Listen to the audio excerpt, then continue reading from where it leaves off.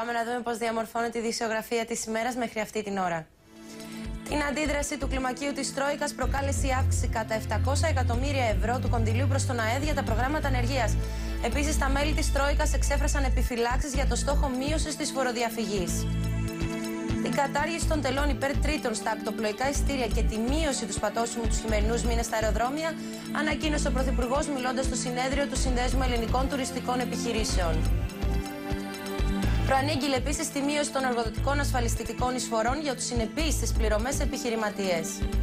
Εν τω μεταξύ, ο Γιώργος Παπανδρέου είπε ότι θα προχωρήσει στην επανεξέταση του θέματος των πνευματικών και συγγενικών δικαιωμάτων με στόχο να μην δημιουργούνται προβλήματα στον επιχειρηματικό κόσμο. Δεν υπήρχαν διαπραγματεύσεις για οικονομική βοήθεια μεταξύ της ελληνικής κυβέρνησης και του Διεθνούς Νομισματικού Ταμείου πριν από την επίσημη αίτηση της Ελλάδας, σημειώνει η ανακοίνωση του Ταμείου.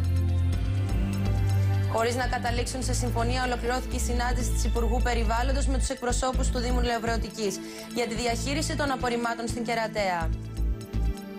Τέλος, τα περί καταβολής αναδρομικών σε συνταξιούχους βουλευτές βάζει το Υπουργείο Οικονομικών με ανακοίνωσή του. Ο κ. Παπακονσταντίνου χαρακτηρίζει την ανακοίνηση του θέματος, του θέματος ως προσβολή του κοινού αισθήματος περί δικαίου.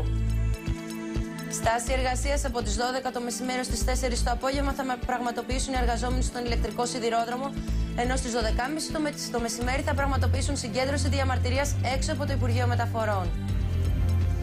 Με αυτόφορο και πρόστιμο ω 1,5 εκατομμύριο ευρώ απειλούνται από το Υπουργείο Περιφερειακής Ανάπτυξης οι βενζινοπόλεις που δεν θα εφαρμόσουν το πλαφόν. Δεν θα δοθούν στη δημοσιότητα φωτογραφίες του Οσάμα Πιν Λάντεν, όπως ανέφερε Αμερικανός αξιωματούχος μιλώντας στο NBC.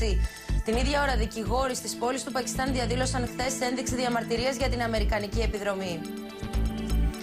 Οι αμαρτυρόμενοι για τον υποβασμό, τον υποβασμό της ομάδας τους οπαδοί του Ηρακλή έβαλαν φωτιές σε κάδους απορριμμάτων και κατέστρεψαν φωτεινούς σηματοδότες. Η ειρηνική διαδήλωση πραγματοποίησαν οι οπαδοί του Όφη. Το εισιτήριο για το τελικό του Champions League, εκεί όπου θα αντιμετωπίσει την Barcelona, πήρε η Manchester United καθώς επικράτησε με 4-1 τη Σάλκε. Καλή σας ημέρα.